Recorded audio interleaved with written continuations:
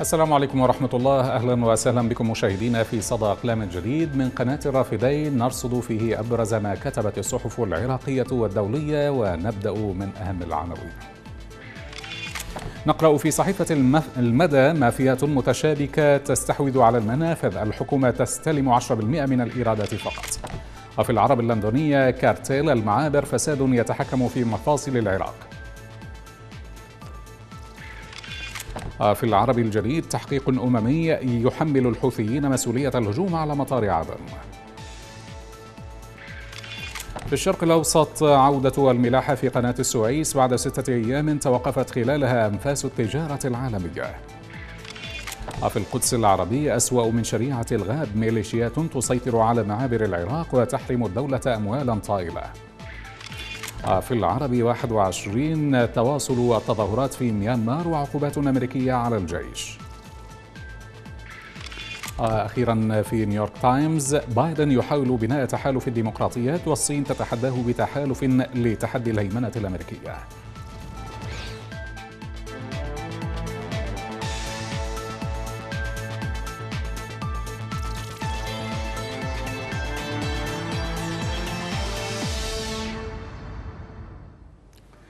أهلا بكم هل بات الانفجار الكبير في بغداد قريبا؟ سؤال يطرحه الكاتب مثنى عبد الله في مقالة له في صحيفة القدس العربي في السياسة تعتبر اللغة والحركة مؤشرات موثوقة على السيناريو الآتي فما هو المشهد المقبل في ضوء اللغة والحركة الذي شهدته بغداد في الأسبوع المنصرم؟ ففي الخامس والعشرين من الشهر الجاري مارس آذار استعرضت قوات ميليشياوية بأسلحة خفيفة ومتوسطة وبعجلات رباعية الدفع قوتها في العاصمة العراقية. وقد رفع عدد من عناصرها صورا لرئيس الوزراء ومسؤول أمني. كتب عليها عبارات مهينة لهما مثل حان الوقت لقطع أذنيك. وأيها السيء سنقطع يدك بمجرد المساس بالمقاومة. كيف يمكن لرئيس وزراء أن يحكم ويعطي قوة لمن هم دونه في المسؤولية؟ بينما تخرج عصابات مسلحة ترفع صوره وقد كتبت عليها عبارات تهدده بقطع الأذنين وأخرى مختومة بكعب حذاء وثالثة موضوعة على الأرض تداس بأقدامهم.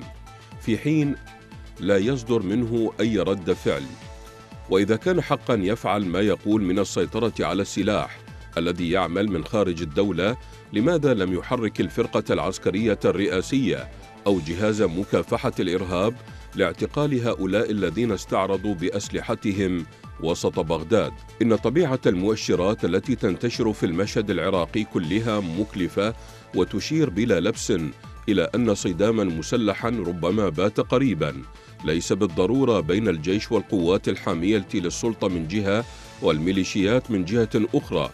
فما زال اليقين موجودا بأن القوى النظامية يمكن أن تترك السلطة وتنضم إلى الميليشيات المسلحة لاعتبارات عشائرية أو طائفية أو بسبب عامل الرعب الذي زرعته الميليشيات. لكن يمكن أن يكون الصدام بين فريقين من الميليشيات أو أكثر لاعتبارات كثيرة منها طموح بعضها أن يكون رئيس الوزراء القادم منها. لذلك تسعى لإثبات جدارتها في الميدان ضد الآخرين أو بسبب التنافس على التفرد بالزعامة في المشهد كسرا للمراهنة الإقليمية على غيرها. ويبدو أن الأجهزة الاستخباراتية الأمريكية تحاول الاستثمار في سيناريو كهذا لكنه لن يكون انقلابا أبيض بكل الأحوال. ما لوحظ في هذا الحدث أن الاستعراض المسلح الذي دام ساعتين تم بسلاسة تامة من دون اعتراضهم من قبل أي جهة أمنية أو عسكرية أو شرطية. أما الملاحظ الأغرب فكانت تصريحات أو تصريح المتحدث باسم قيادة العمليات المشتركة الذي قال تفاجأنا من المقاطع الموجودة على مواقع التواصل الاجتماعي وبدأنا اتصالاتنا لمعرفة ما يجري. فهل هذه الجهة المسؤولة عن أمن العاصمة كانت غائبة تماما عن المسرح أم أنها كانت تعلم لكنها اختبأت بأن موازين القوة ليس في مصلحتها؟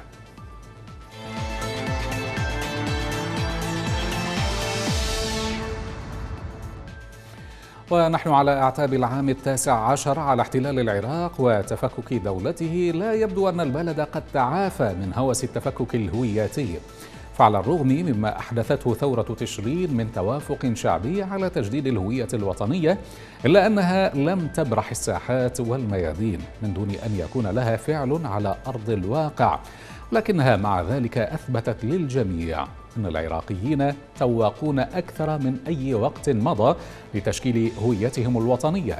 مقال للكاتب إياد الدليمي نشرته صحيفة العربي الجديدة. كان للاحتلال الأمريكي فعل الرصاصة القاتلة على ما بقي من هوية عراقية جامعة فقد بدأ المحتل مسيرته بتقسيم العراق إلى أعراق وطوائف وعلى أساسها شكل أول مجلس للحكم الانتقالي حينها بدأ العراقي يتعرف أكثر فأكثر على هويته الفرعية التي سبق أن تعرف عليها وإن باستحياء خلال حرب إيران وقبلها حرب الأكراد وبعدهما حرب تحرير الكويت والحصار يوم أن كانت الدولة موجودة وقادرة على أن تضبط إيقاع الهويات. انهيار الدولة في العراق عقب 2003 وتفلت الهويات من عقالها لم يكن فعلا عراقيا خالصا فقد أسهمت فيه عوامل عدة لعل من أولها سلطة الاحتلال وليس آخرها تدخلات الدول الإقليمية التي كانت ترى العراق بعين مصالحها لتجد الدولة الأكثر قدرة على اللعب بملف الهوية نفسها مسيطرة غالبة على العراق.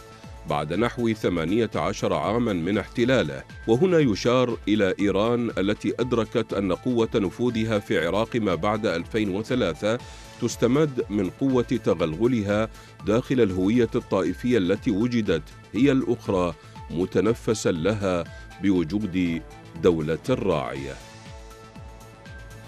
بات البحث عن هوية وطنية في العراق ليس من فعل السلطة بقدر ما هو فعل شعبي ما يعني أنها يمكن أن تكون أقدر على الثبوت والتخلص من إرث الصراع الهوياتي فقط لو أتيح لها الفرصة لرعاية مؤسساتية.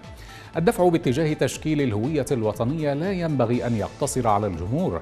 الذي بات يرى فيها خلاصا له من تدخلات الأطراف الخارجية. وإنما يجب أن تكون هم أي حكومة عراقية تسعى فعلا إلى إخراج العراق من أتون لعنة الهويات القاتلة التي التي استنزفت كثيرا من الدم العراقي طوال سنوات خلت.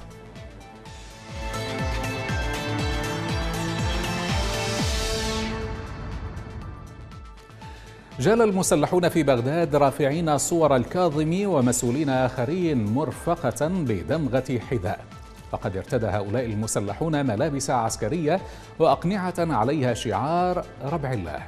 وهي كما يقال حركة جديدة من بين أحدث الفصائل الموالية لإيران في العراق وأكثرها نفوذا. حول هذا الموضوع كتبت باهرة الشيخلي في صحيفة العرب اللندنية. الواقع أن تسمية ربع الله التي استخدمها الكاظمي وبيانات رسمية هي مجرد اسم شبحي. حالها حال ميليشيا أولياء الدم أصحاب الكهف قبضة المهدي وعصبة الثائرين. كلها لا وجود لها على الأرض مطلقا وليس لها مقر ولا قائد.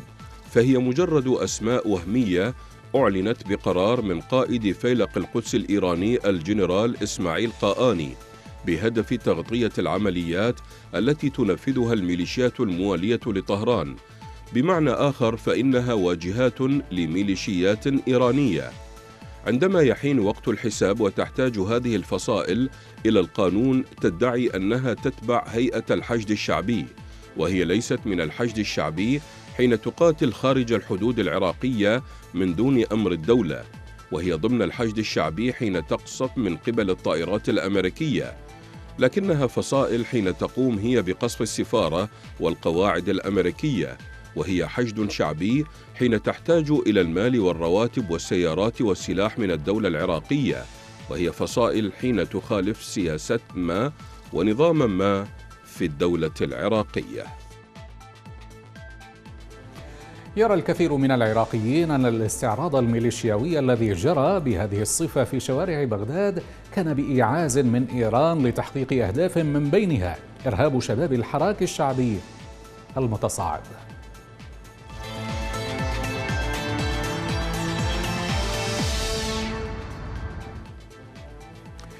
بدأ البحث عن حل للقضية السورية منذ أن اشتعلت في منتصف مارس عام 2011 واليوم وبعد مضي عشر سنوات من الفواجع والمآسي لا يزال الحل عالقا رغم ظهوره في بيان جنيف عام 2012 والقرارات الدولية التي أصدرها مجلس الأمن.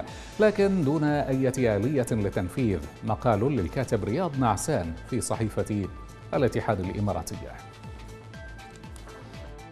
محنة السوريين تزداد اتساعا مع تردي الأوضاع الاقتصادية في الداخل السوري حيث هناك تهديد جدي بالمجاعة وحالة من الضياع وفقدان الأمل بالوصول إلى مرحلة الانهيار المتسارع.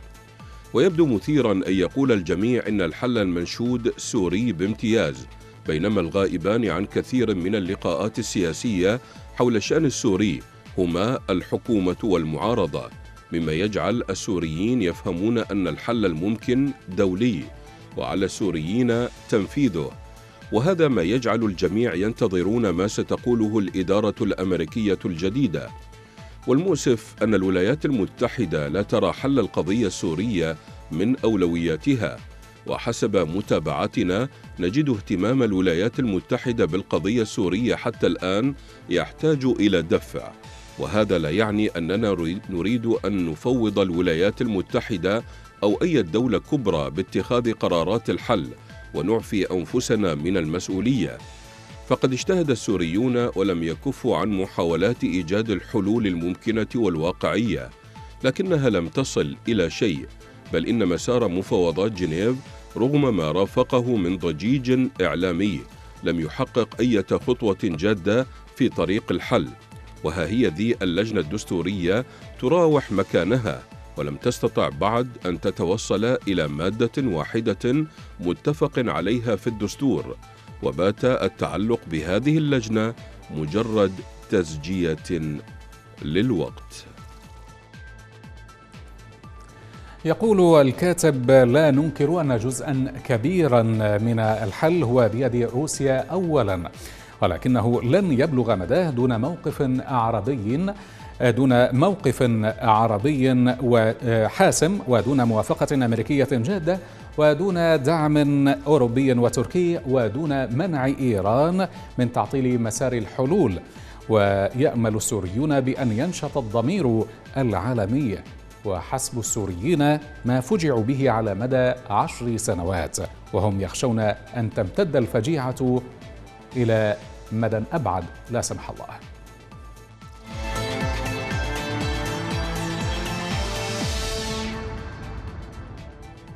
عن الدروس المستفادة من السفينة الجانحة بقناة السويس كتب ممدوح الولي في موقع عربي 21 أظهر جنوح إحدى سفن الحاويات الضخمة في قناة السويس صباح الثلاثاء وتسببها بتعطل أو بتعطيل الملاحة بالقناة عدة أيام حتى كتابة تلك السطور أظهر ذاك الجنوح مدى أهمية القناة لحركة التجارة العالمية بمختلف السلع وللعديد من البلدان سواء في أوروبا أو جنوب آسيا أو أمريكا الشمالية أو شرق وشمال أفريقيا والخليج العربي وبلدان البحر الأسود.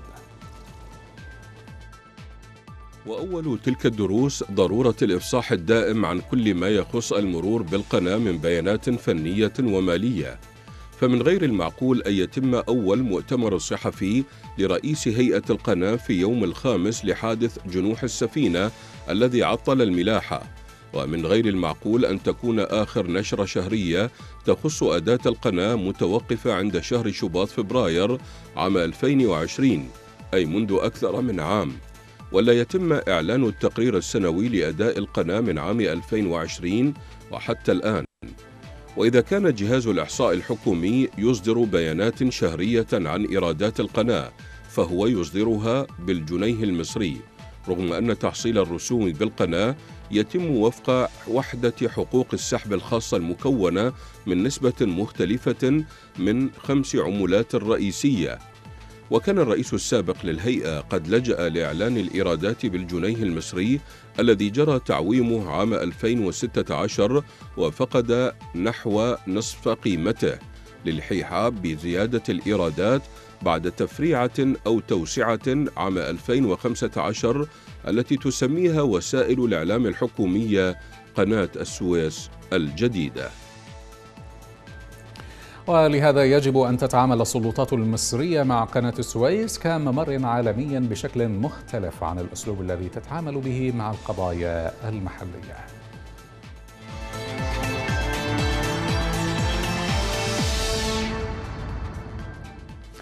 تحت عنوان تحالف للمستبدين الصين تريد قيادة النظام العالمي. نشرت صحيفة نيويورك تايمز تقريرا أعده ستيفن لي مايرز قال فيه إن الرئيس الأمريكي جو بايدن يريد أن يشكل تحالفا لل أو تحالف الديمقراطيه أما الصين فتريد تشكيل تحالفها الخاص. فبعد أيام من اللقاء الصاخب في ألاسكا انضم وزير الخارجية الصيني لنظيره الروسي وشجبا معا التدخل الغربي ونظام العقوبات. التهديد الذي يمثله تحالف تقوده الولايات المتحدة لسياسات الصين المستبدة زاد من طموحات بكين لأن تكون قائدا للعالم المعارض لواشنطن وحلفائها. وينم هذا عن الصين الواثقة وغير المعتذرة. فهي واحدة لا تكتفي بمحاولة ضد نقد الولايات المتحدة للشؤون الداخلية ولكن تقدم مبادئها ونموذجها للآخرين ويحاول قادتها بناء جدال نحن القوة المسؤولة ولسنا مخربين أو محور شر كما يقول جون ديلوري أستاذ الدراسات الصينية في جامعة يونسي بسيول في كوريا الجنوبية. ونتيجة لهذا فقد أصبح العالم وبشكل متزايد منقسما إلى معسكرين أيديولوجيين واضحين. واحد تقوم من خلاله الصين بجلب الأنصار وآخر تقوده أمريكا وأنصارها. تقول الصحيفة إن الصين تريد موضعة نفسها في المكان الأول لتحدي النظام العالمي الذي تقوده الولايات المتحدة والذي توجهه لمبادئ الديمقراطية وحقوق الإنسان وحكم القانون.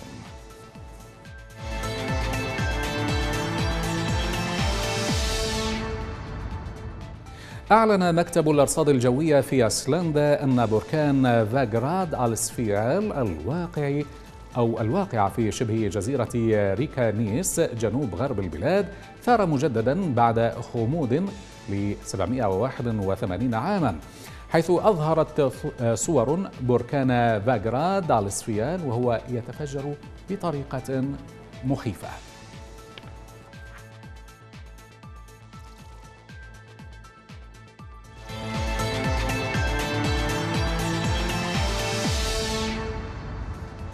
والآن مشاهدينا مع رسوم الكاريكاتيرية